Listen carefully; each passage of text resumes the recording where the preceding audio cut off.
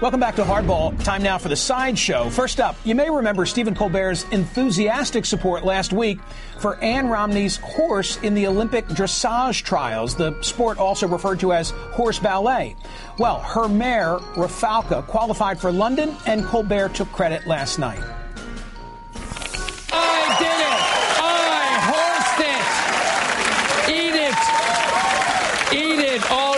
Naysayers!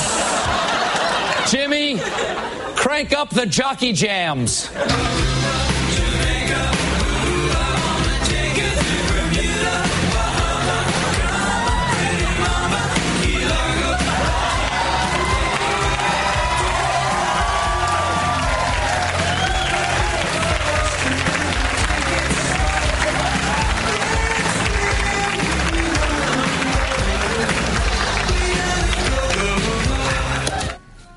We can't decide who has the better moves there, the, the horse or Colbert.